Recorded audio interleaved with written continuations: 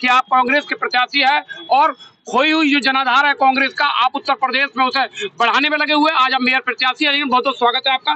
किस तरीके से चुनाव को मेहनत करेगी कांग्रेस इस बार? देखिए, आज हम एक है अपने सभी पदाधिकारियों के साथ, अपनी बहन के साथ, अपने सभासदों के साथ, अध्यक्षों के साथ। आज सबसे पहले हम गए थे भगवान परशुराम जी के मंदिर, जो आसना में हुए है, वहाँ उनके चरणों से आशीर्वाद लिया। उसके बाद हम बाबा भोलेनाथ के मंदिर गए खेड़ेश्वर। बाबा से आशीर्वाद लिया और उसके बाद हम यहाँ आए। राजा महेंद्र प्रताप। सिंह पार्क में।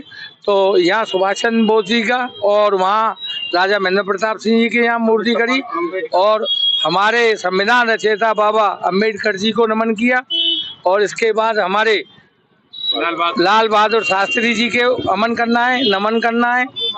और अकूर महाराज जी में, और मुझे लगता है कि अलीगढ़ की जनता का प्यार और सहयोग और सम्मान मुझे ज़रूर मिलेगा।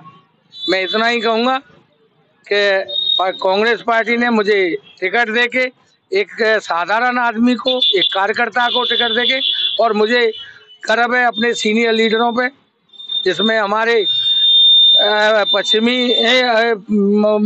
प्रांतीय अध्यक्ष भाई योगेश दीक्षित जी, हमारे विवेक बंसल जी श्योरा जीवन जी प्रतिमा सिंह जी, और गिरवर शर्मा जी, संतोष सिंह जी, अजय शर्मा जी, अखिल भाई, सबका पूरा कांग्रेस और हमारी बहन प्रभारी बन के आई हैं और हमारे साथ यादव जी प्रभारी हैं तो सबका सहयोग मिल रहा है और सब साथ चल रहे हैं और साथ लड़ाई लड़ेंगे और जीतेंगे।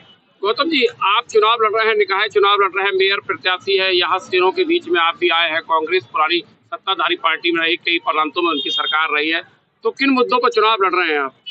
चुनाव की तो स्थिति सुनो, आप लोगों से कोई छिपी नहीं है। चार सौ का सिलेंडर महँगा लगता था, अब ग्यारह सौ करोड़ रुपए का सिलेंडर महँगा नहीं लग रहा। विकास की बात करें, नगर निगम की बात करें आपने नालियों का हाल देख रखा है रोज मतलब रोडों का हाल देख रखा है रोज खोदते हैं नालियाँ साफ़ करते हैं वहीं फेंक जाते हैं कई दिन तक पड़ी रहती है धूल आती है गंदगी आती है बहुत ज़्यादा अधिक समस्याएँ जिसपे हम फोकस करेंगे। गौतम जी आप जो है मेयर प्रत्याशी के रूप में ब्राह्मण चेहरा उभर के सामने आया है और ब्राह्मण समाज के लोगों को टिकट कांग्रेस ने दिया है। तो जो ब्राह्मण वोट है क्या उसे यूनाइटेड कर पाएँगे आप? नहीं अरे मैंने भगवान परशुराम के चरणों का आशीर्वाद है मेरे पे। और मेरा हर ब्राह्मण भाई मेरे साथ है। पूरा अलीगढ़ ब्राह्मण क्या पूरा अलीगढ़ क्या पूरा प्रदेश आएगा मेरे साथ। बाहर से भी आएँगे मेरे मुझे जी अगर आप मेयर बन गए तो अलीगढ़ के लिए विशेष क्या करने जा रहे हैं? ये तो आपने लक्ष्य रखा होगा कि अगर मैं मेयर बन गया और अलीगढ़ की जनता ने मुझे आशीर्वाद प्राप्त कर दिया तो मैं क्या खास करूँगा? लोग तो करते रहते आप क्या खास करने जा रहे हैं अलीगढ़ की? मैं गरीब की लड़ाई लड़ूँगा। जो मेरे भाई हैं सफ़ाई रात को होनी चाहिए। जो डिस्टर्ब है जाम बनते हैं उसके बाद आपने ढेली और टेली और ढकेल वालों से अवैध वसूली है। अधिक है का आपने बेअधिक आपका हाउस टैक्स है वाटर बैग है पा, पार्किंग है नहीं कहीं।